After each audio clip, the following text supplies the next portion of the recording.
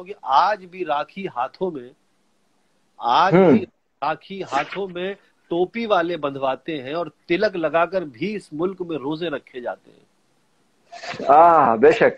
और सुनकर बहुत खूबसूरत। सुनकर अजाने पंडालों से भजन तुमने रुकवाए थे और दिवाली पर घर की चौखट पर हमने भी दिए जलाए थे। जलाए थे बेशक। और क्या कहने बहुत पंडित के पंडित के बच्चों ने मुहर्रम के शरबत यहाँ पर बांटे हैं अर्थी को कंधा देने हम्म। ले जाते हैं। और ईद दिवाली ईद दिवाली शादी मैयत हर सुख दुख से कट गए हम। हिंदू मुस्लिम के नामों में हम्म। आपस बढ़ गए हम।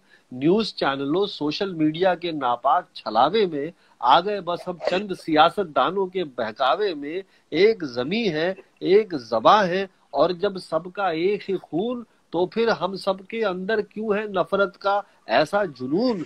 नफरत की इन दीवारों को मिलकर हमें गिराना होगा। भगत सिंह अशफाकुल्ला का हिंदुस्तान बनाना होगा। क्या कहने हैं? बहुत उम्दा भाई बहुत उम्दा।